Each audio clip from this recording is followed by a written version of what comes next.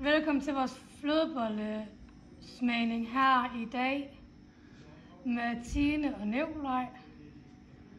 Og skal se, om de kan få hele flødebollen ind i munden.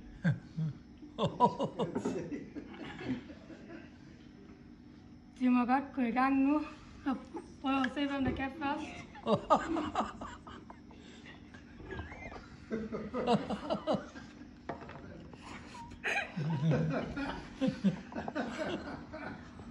Man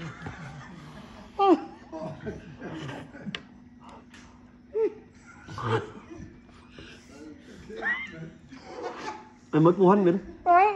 Nej, man må ikke. Så er det snyd. Ja, du Tine, så kan... Der bor der vasket af. Vi kan også bare tage en klud bagefter.